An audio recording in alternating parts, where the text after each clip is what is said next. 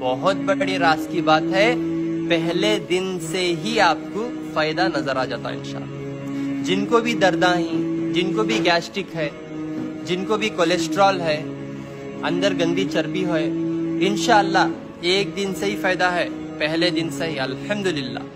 ठीक है? आप इसे कैसा इस्तेमाल करना मैं बोलता हूँ, ठीक से फॉलो कर लो इनशाला एक पान, यानी तो दो पान ये डंट के साथ, डेढ़ गिलास पानी में भिगने डालो।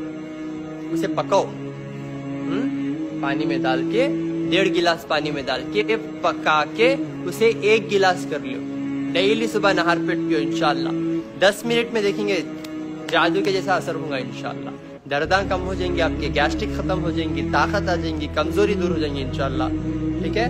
कैंसर के पेशेंट्स और जो है, जख्मा, हिंस वाले पेशेंट्स नहीं इस्तेमाल करें तो अच्छा है, क्योंकि उनको कैल्शियम की दवा नहीं दे सकते।